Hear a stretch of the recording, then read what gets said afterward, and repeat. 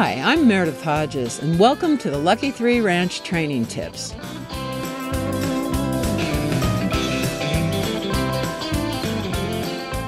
Collection shortens the equine's frame between the rider's legs and hands.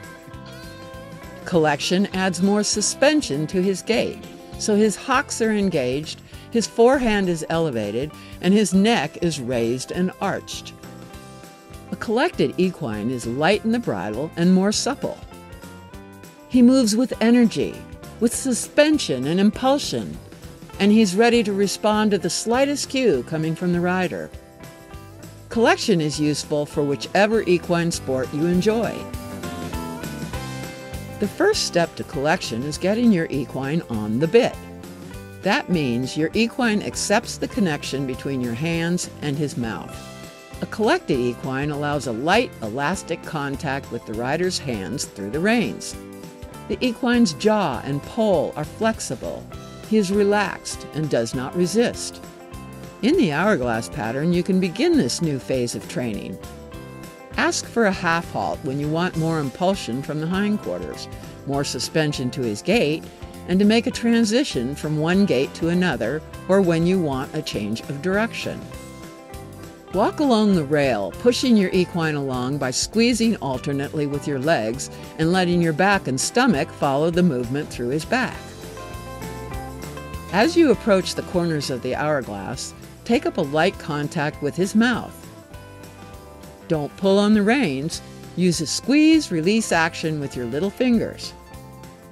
Begin squeezing with both legs simultaneously.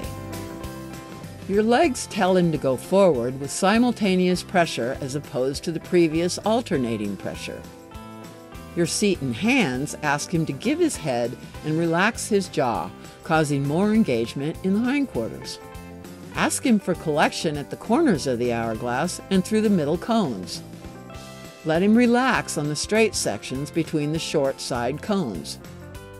When he responds, relax your hands and start moving with him again. His back and jaw muscles relax, and he will begin to nod his head and neck slightly up and down. This nodding tells you he's taking contact with the bit. Keep his head and neck directly in front of his shoulders. Do not turn his nose into the turn. He should bend through his rib cage and not just his neck.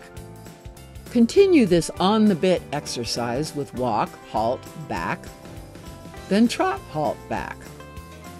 Finally, canter a 60 foot circle, halt, and back. Without pulling or jerking, gently ask him to respond.